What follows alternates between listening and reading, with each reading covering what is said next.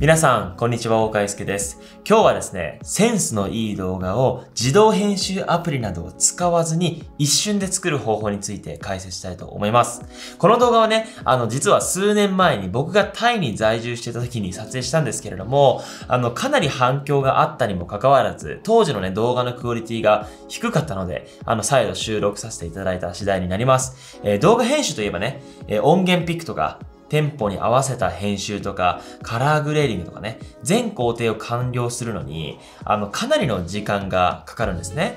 で、僕もね、制作の仕事をしてた時に、どうやったら編集の効率を上げて、えー、案件の量もね、増やせるのか、本気で考えていた時期があるんですけれども、そこでたどり着いたのが、今回ご説明する、えー、この技術でして、えー、素材をね、選択する作業はもちろんあるんですけれども、あの、音に合わせてクリップを、まあ、つなげる作業はほぼかかりません。時間をかけたくないけど、かっこいい編集がしたいという方はね、ぜひ最後までご覧いただけたらと思います。それでは、Adobe Premiere Pro にて編集していきます。えー、もうすでにね、シーケンサー作らせていただいて、もう音楽、こんな感じに並べております。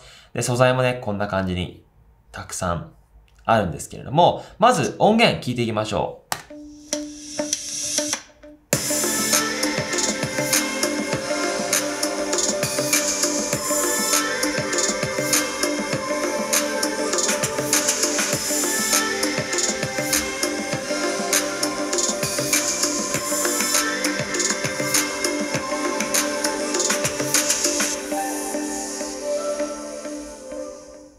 はい。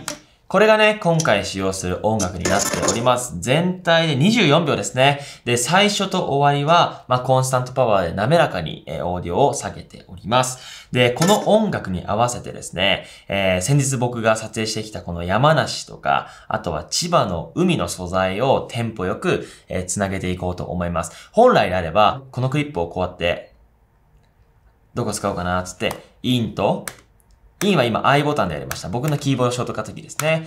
で、使い終えるところが O、アウトボタンですね。こんな感じで、いいなと思ったら、ドラッキングドロップして、ああ、かっこいい。で、音に合わせて、こんな感じにやっていたと思うんですけれども、え今回ご説明するのは、こんな回りくどい編集方法ではありません。一発で繋がるので。それではですね、まず、こちらの素材の使いたい部分ですね。使いたい部分をインとアウトしっかりマーキングしましょう。例えばこの素材であれば、あ最初のこの太陽が入るところが最もいいですね。はい。この揺れてる感じ、ここまで使います。で、この素材だったら、いいですね。この、歩くところまで、ここまで使います。この素材だったら、はい。こんな感じの走り出し。まずはね、すべての素材をこのインとアウト、使いたい素材しっかりと、えマーキングしてください。で、すべての素材の使いたい部分を選んだのであれば、え実際にこの音源のマーカーを押します。これ今僕、キーボードショートカットキーで M を押しているんですけれども、皆さんね、この Adobe Premiere Pro のキーボードショートカットの、ここで、マーカーと選択してみてください。そうするとですね、えー、こちらにですね、はい。うん、マーカーを追加ありました。ここですね。ショートカット。ここを×をして、M を押すと、マーカーを追加されるんですね。で、マーカーを追加2つあるので、あの、お気をつけください。マーカー。こっちの書き出しの方のマーカーではなくて、編集の方ですね。編集のマーカーを追加を押すとですね、はい。こんな感じでマーカー追加されましたね。え、これを、えー、店舗に合わせて追加していって、このプロジェクトにある素材を一気にシーケンスにぶち込む。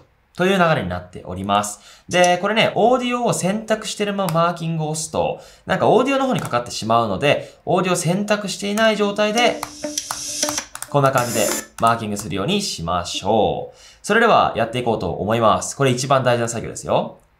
はい、まず最初ですね。いきます。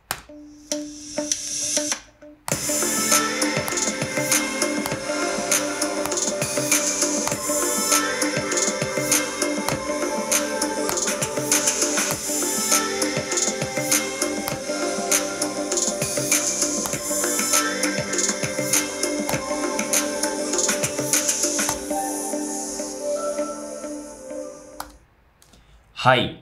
こんな感じで、今ね、僕がこの音源を聞いたときに、まあ、どういったテンポに合わせて繋げていくかっていうのをイメージしながら、あのー、使わせていただきました。なので、本当にテンポに準じてマーカーを追加したのではなくて、まあ一応、あのー、このぐらいのテンポだったら気持ちいいだろうな、みたいなところで、マーカーを追加させていただきました。で、マーカーを追加したのであれば、もうあとは簡単です。すべての素材をもうインとアウト選択していますので、素材を選択します。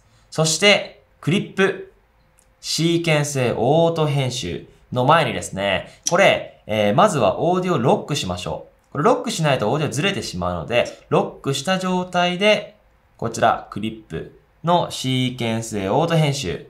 はい。選択順、番号なしのマーカーでインサート編集。そしてオーディオを無視してください。そうするとオーディオは入らないので。それでこちらを OK すると、じゃん。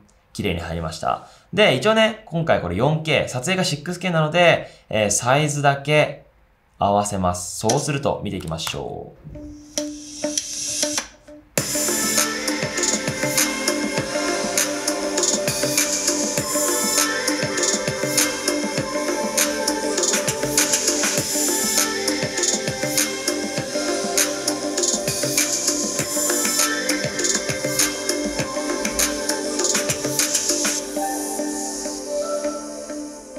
はい。まあ、このような形でね、マーカーに合わせて、テンポよくクリップが分けられてると。めちゃくちゃ時間短縮できましたね。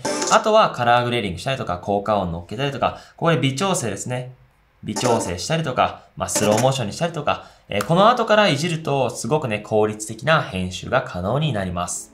はい、いかがでしたでしょうか、えー、僕はね、実際にどういった時に使うかっていうと、あの Vlog 撮影時、に、あの、B ロールの編集とか、イメージ動画なので、えー、時間がない時にこの技法をよく使用しています。あの、一瞬で編集できるので、すごく助かってるんですけれども、あの、音源ピックや、まあ、グレーリング作業は最低限行わなければいけないんですけれども、この技法をね、使えば、編集効率が上がることは間違いないので、ぜひ皆さんの動画編集時にね、使っていただけたらと思います。えー、今日はね、かなりスピーディーな、えー、解説になってしまったんですけれども、久々のチュートリアルでした。それでは皆さん